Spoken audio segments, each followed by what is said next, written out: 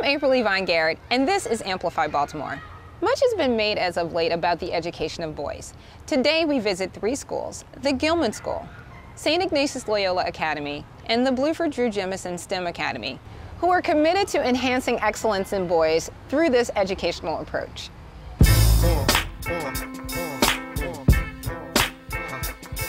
I'm happy to be on the beautiful campus of the Gilman School for the first time with its headmaster, John Schmick. Thank you so much for joining us today. Thank you very much for coming here to see us. How is it that a school formed by a woman became the gold standard in educating boys in Baltimore? Well, I think the key to that question uh, is the fact that the woman was a mother, mm. uh, Anne Galbraith Carey, and she was looking around for a school for her son, but did not want her son to go away uh, which was uh, quite often what happened. That was before. a model back in the day. You sent your kids away. Right. Uh, right. and so she went around and looked at different schools, primarily in the Northeast, in the, in the boarding schools. Sure.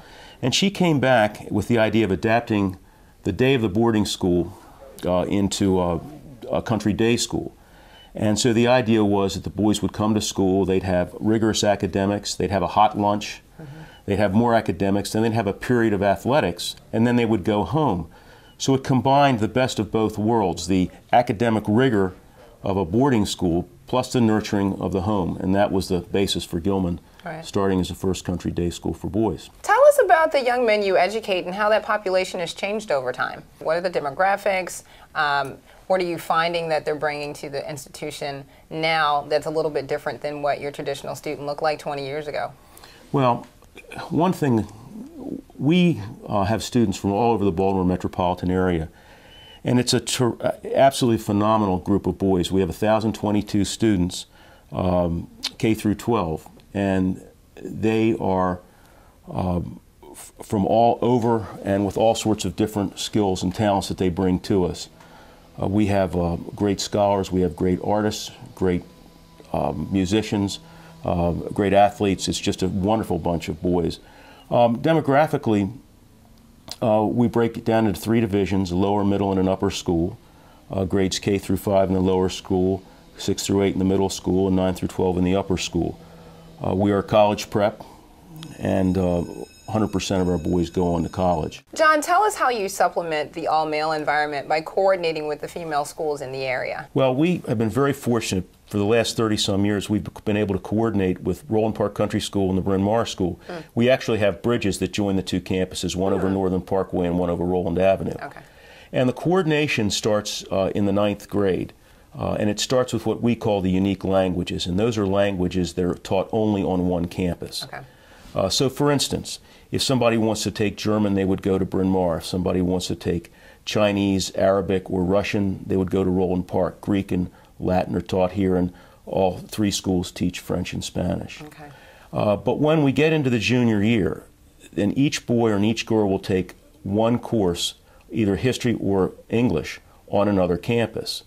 Uh, and then f- when we get to the senior year, uh, the, uh, the coordination really, uh, most courses are coordinated so that the students have a choice of 30 English classes mm. senior year. And it, it really becomes almost like a small liberal arts college. So, in a way, you are still maintaining the ethos of a single sex education, but you're allowing them to have the experience of learning that's, in a co education. That's, that's, exactly right. Okay. Each school maintains its own identity as a single sex institution. Mm. But they have the benefit mm-hmm. of the coordination at a time when they're intellectually ready and uh, excited about it. You are an alum of the Gilman School, correct? Correct. Class of 67. Absolutely. And your son is as well? Right, he graduated in the class of 1997. So you have a legacy at this institution.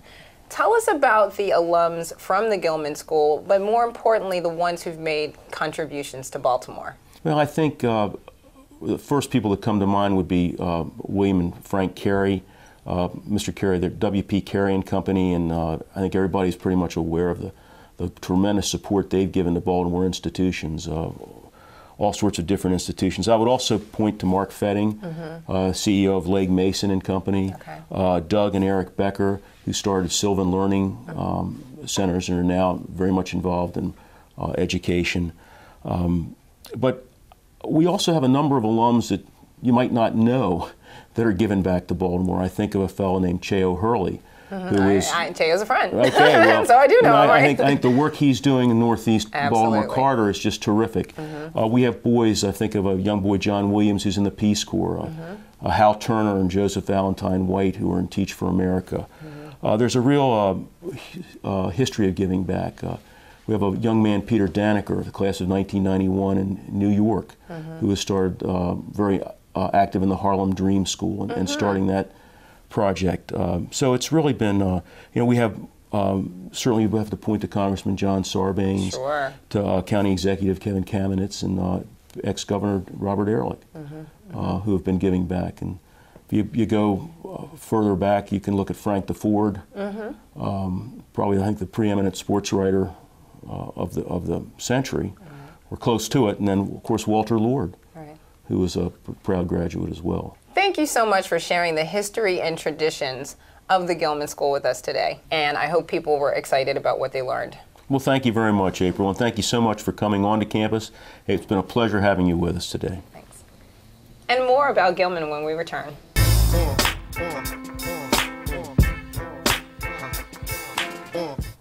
Gilman has a history of wonderful graduates, and we are now talking with a student, Matt Randolph, who is a senior here at the school. Matt, thanks for being with us. No problem. How are you? I'm great. So you are a senior here Yes, I'm a senior right now. at Gilman, and you're enjoying your time here. I am. I am. Tell us how you found out about Gilman. I understand that you have a sibling that attended this school. Yeah. My, my brother actually uh, went to Gilman. Um, before I was even here, I was at a public school um, in Towson, and I thought, you know, about attending a private school. My parents thought the best decision, decision would, be, would be for me to follow uh, my brother um, at Gilman. So you had all this information from your brother. Right. What did you think it would be like attending Gilman? Well, I didn't know what to expect. Um, my parents said it was a good school, but I knew it was going to be really difficult, so I was kind of scared and intimidated. Um, but as I got here, it was a very easy transition, and I felt that it wasn't that big of a deal. You know, going from a public school to a private school wasn't that stressful. It felt very you know, natural. What is it about being a Gilman student that sets you apart from everyone else? Um, I think being a part of uh, Gilman, you definitely feel you have a sense of community. I mean, I think at other schools you can kind of go home and forget about school, but at Gilman you're here for, for so much time. You feel like you've invested so much into it in the community that you feel like it's always with you. You always feel like you're part of the Gilman community. Matt, thank you so much for sharing your Gilman experience with us today and encouraging others to look at single sex options for boys in secondary education. We wish you the best because you're a senior and you're on your way to college, and we do hope you consider Kenyon College Thank if you're applying. Thanks. Next, we'll travel to St. Ignatius Loyola School in downtown Baltimore.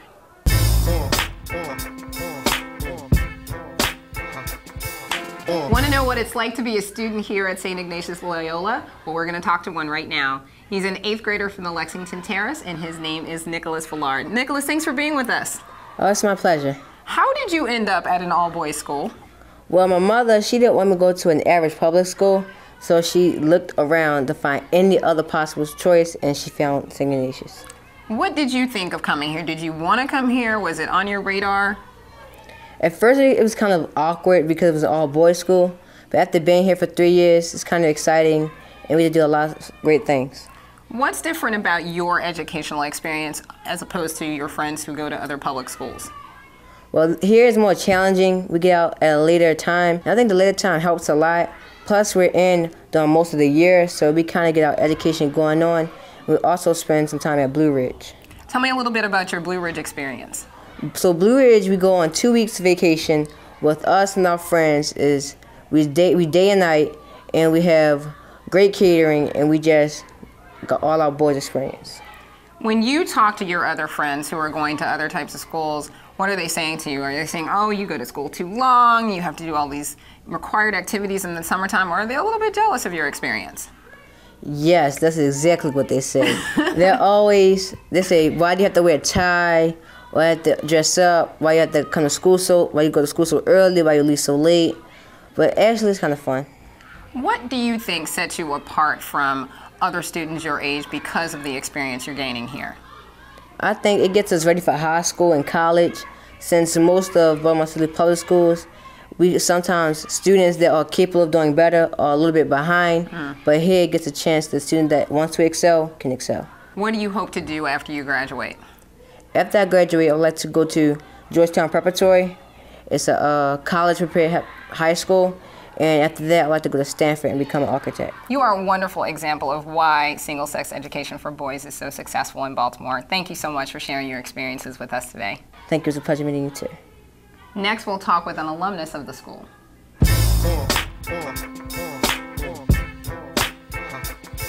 In its short history, the St. Ignatius Loyola Academy has produced incredible results. We are standing here with the evidence of that. 2000 graduate Enoch Attenoukon.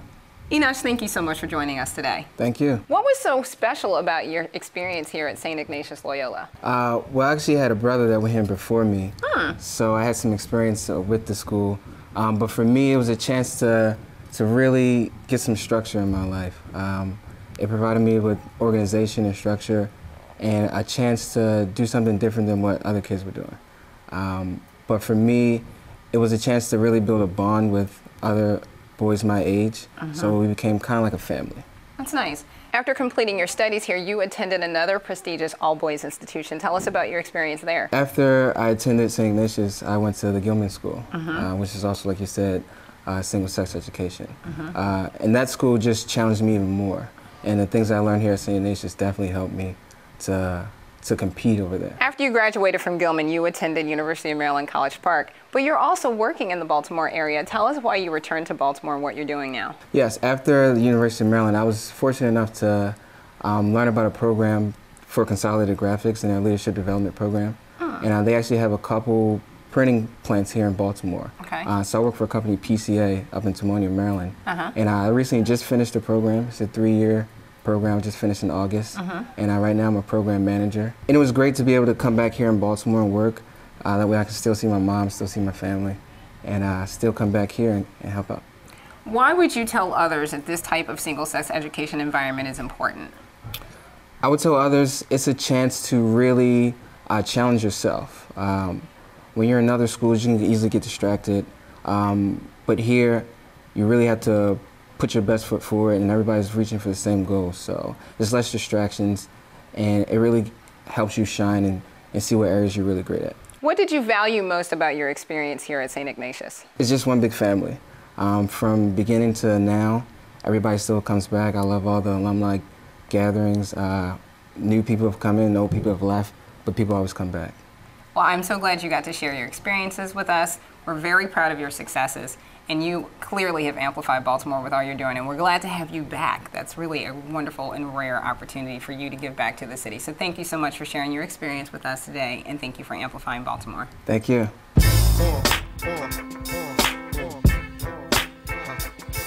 We're here with parent of an eighth grader and graduate of the Academy, Cynthia Jaramogi. Thank you for being with us today. Thank you. Cynthia, why did you choose St. Ignatius Loyola to educate your sons? I was driving by one day and just happened to see the school, and just my cousin mentioned it to me, so I came to the open house, and um, I chose the academy just based on the open house. The staff, the passion, the dedication that they showed when I first met them made me pursue my kids' education here. How did being educated in an all male environment make a difference for your sons? Well, being a single mom of two young boys, I thought that it would be important for them to be able to focus on what's important about them, what's unique about them as young boys. And the, the, the gentlemen, especially the male role models of this school, are just outstanding. So I really appreciated how the men of this school took my boys under their wing and really mentored them. What kind of changes have you seen in your sons, both the graduate and the current student, as a result of this education? Uh, my, my son, who's a graduate, he was very shy, very withdrawn. His first experience at two weeks of, of being away from home was really nervous for me. But he came back a young man, very independent, very reliable. Uh, the, the experience just changed him, and I see a lot of maturity and growth in my youngest one as well. Cynthia, tell us what happened with your oldest son as a result of graduating from the school. Well, my oldest son was able to go on and pursue a high school education at Cristo Rey Jesuit High School in Baltimore City as well, and he's doing wonderful there. How did the institution support your son after he graduated? Well, the graduate uh, support system here is wonderful. They hold a lot of uh, academic resources in reference to pre-SAT testing uh, classes. They have a lot of uh, functions in reference to barbecues where all the alumni come together with the families, and they have a lot of. They, they're having a few college trips this this next month or so uh, to Villanova University and Towson and just different places where they're taking young men, preparing them for college. So, the life of the student here at the Academy extends beyond graduation. They really do try to keep them connected to the young people here and to the staff. It extends beyond uh, this school, beyond high school, beyond college. They keep in contact with their graduates from the time they meet them and throughout their lives. So, why would you recommend this particular institution to any parent that's raising a boy in Baltimore City? The environment. I have never met or seen or witnessed such a dedicated, passionate group of staff. They really pour everything they have into these young boys to make them uh, young men for, the, for Baltimore City. Well, thank you so much for sharing why single-sex male education is important from a parent's perspective, and also being a very dedicated parent. So important that our school system has strong parents that are committed to education as well. So thank you for being with us today. Thank you.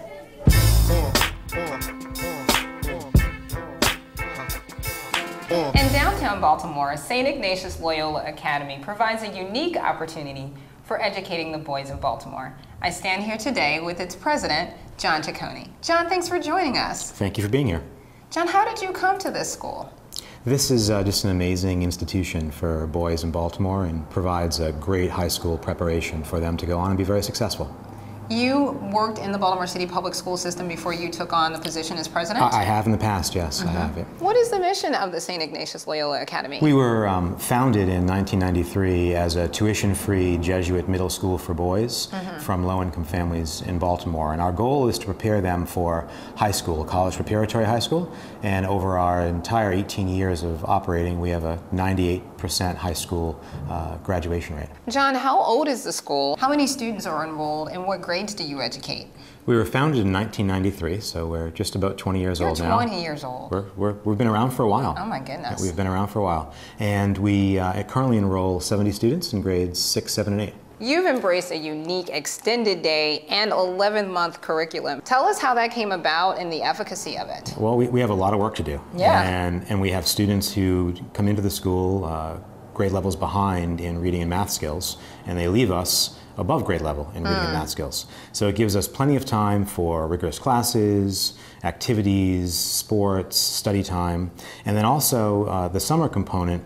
Uh, you know, we stop the summer learning loss that usually mm. takes place over yes. the three months of a summer break that's, that's traditional. problem, yeah. And so we, we eliminate all those barriers to advancing and achieving. Tell us a little bit about this exciting thing that you do during the summer that the boys seem to really enjoy. Two, two weeks in the summer, we take all of our students and our faculty to a summer camp, uh, overnight summer camp for a full two weeks that's uh, just over um, the Maryland line in Pennsylvania. That's exciting. And they spend two full weeks there having fun. This is a very expensive endeavor. How do you fund a tuition-free education for all of the boys who attend this school? Uh, we rely on many very generous donors. Mm. Uh, we receive no government or archdiocesan funding. Really? And so nearly our entire budget is raised every year by charitable giving. We're able to find a sponsor uh, who's an individual or a family that will sponsor a student here, and, and we have every one of our students sponsored. And then we have a number of uh, donors to our annual fund who are very generous to make this program operate.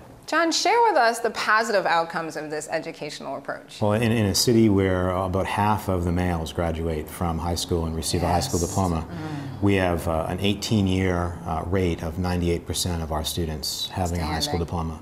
And, and, then we don't just leave them at the end of that process. We actually work with them while they go through college and have graduate support that provides additional support. And that's one of the signature features of, of what we do to make sure that our students become successful and become like the young man that you uh, interviewed earlier today, who's one of our graduates. John, you guys have done an incredible job here based on the interviews that I've done with other people today. Tell us what your plans for the future are. We'd love to be able to uh, serve more students, and we'd love to keep doing what we do, but only do it better. Well, I think you're off to a wonderful start. I've seen evidence of that all day today, and I'm excited to share your vision with the people of Baltimore. Great, thank you.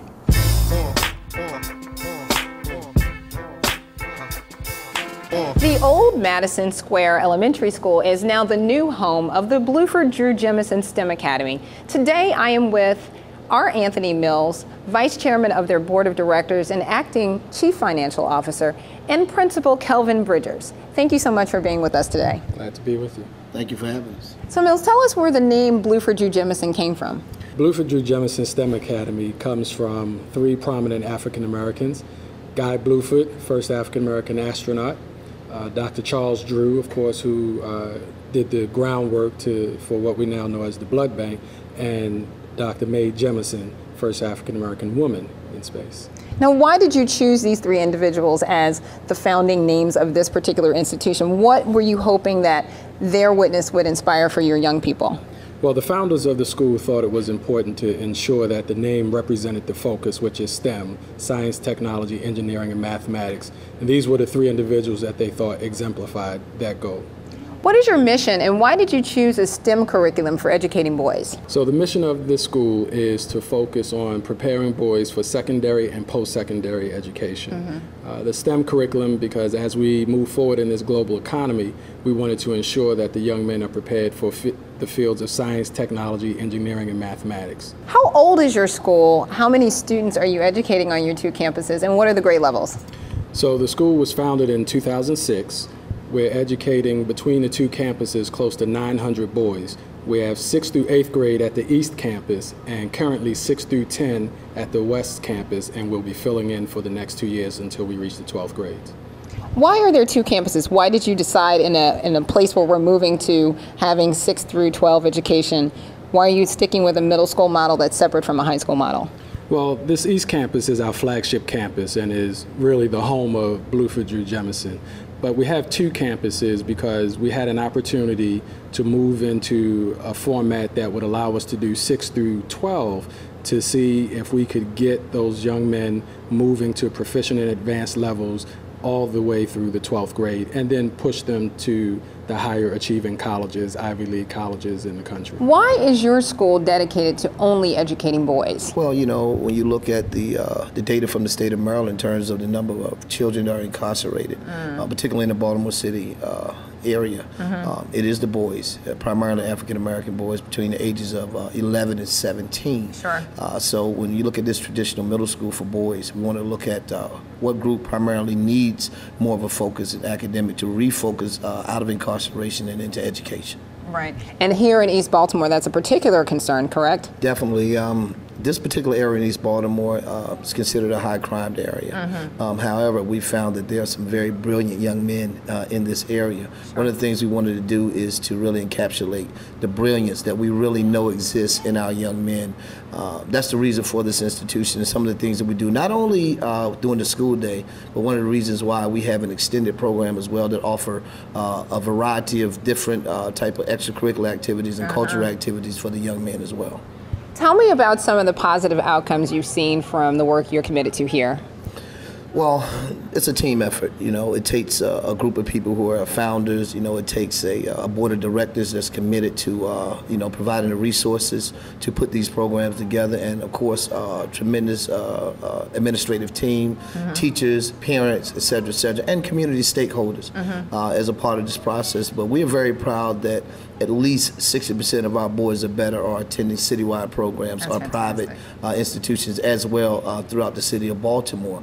Um, you know, we feel good about the fact that culturally we've been able to uh, cut back on the number of suspensions that have been occurring mm. inside of our school, mm-hmm. Uh, and we continue to uh, uh, get larger percentages of parent participation. Back to school night recently, we had 153 parents to show up for 320 boys. So uh, the process is going to take time, mm-hmm. uh, and we know that it's not anything that happens overnight. Mm-hmm. But I mm-hmm. think that uh, Bluford is heading in the right direction thus far. Sounds like it. What are your future goals? Well, you know, uh, we, we are proud of the strides that we've made. Uh, we are realistic that we do have a long way to go. Mm. the ultimate goal is for every boy that attends this institution is to be uh, proficient or advanced in standardized testing. Mm. Uh, and that is the task, uh, not only here at Bluford, but of course all across America.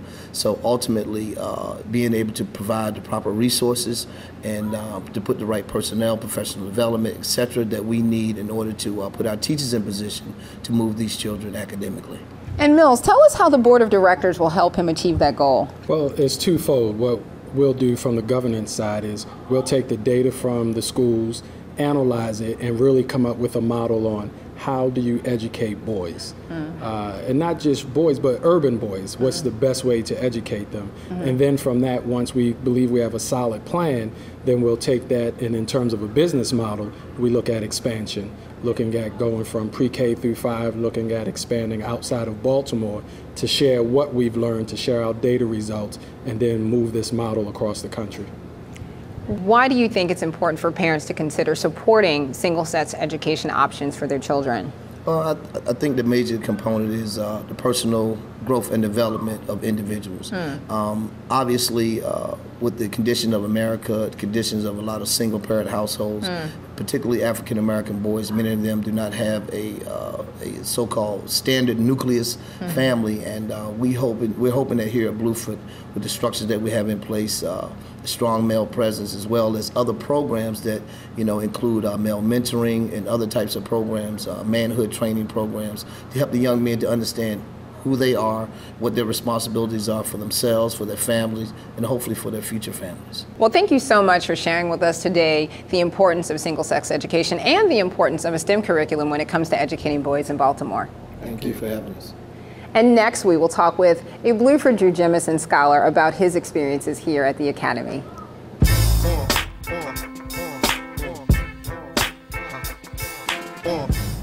The Bluford Drew Jemison STEM Academy is an institution filled with scholars. We're here with one of them today, DJah Mack, a seventh grader. DJah, thanks for being with us. Thank you for having me. What brought you to an all-boys middle school?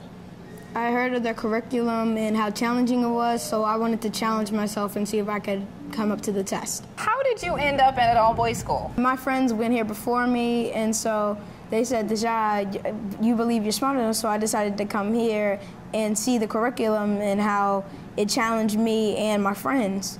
And so I started in sixth grade, the middle of the school year.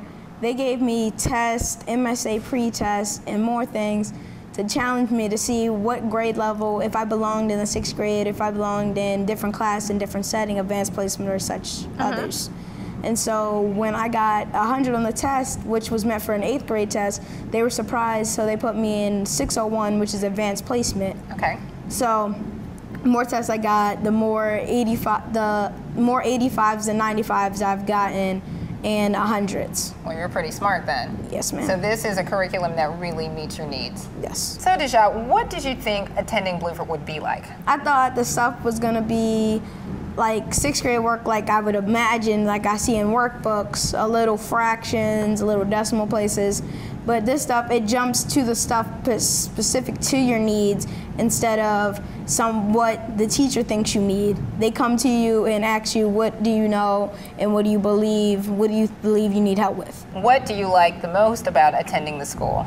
Well, I mostly like being with my friends and seeing what we can do or what we can accomplish when we work, when we do our work, and when we work when we work together. You like the community. What is it about the community that pulls you in? Uh, the thing about the community that pulls me in is probably the atmosphere around here, how people are peaceful, and I can walk to my classroom without someone pushing into me or bumping into me. Mm. What is it about being a Bluford Scholar that sets you apart from the rest? I believe that sets me apart from the rest is that I can challenge myself while people are still left behind mm. and I can challenge myself and do work that other people believe they can do but actually can't do. So the $50,000 question, where do you want to attend high school? I want to go to Gilman. I want to get an internship to Gilman so I can go there. Why do you want to go to another all-boys high school? Because with all-boys schools, I can focus on my work in an all-boys community so I don't have distractions. DJah, would you want all of your male friends to attend this school? I think it would be a great decision for them to come here because the curriculum is not, it's challenging, but it's not challenging where you want to drop out on the first day. Well, DJah, you just presented us with a wonderful reason why people should consider same-sex male education in Baltimore. Thank you so much for sharing your experiences with us. Thank you for having me. We hope these three schools provided you with insights when considering all boys education in Baltimore.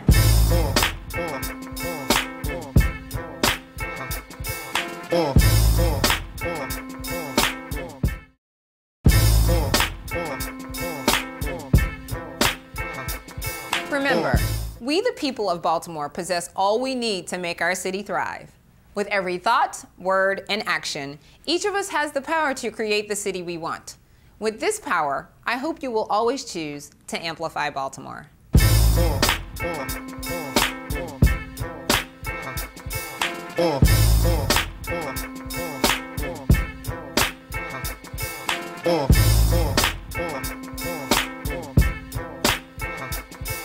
Oh.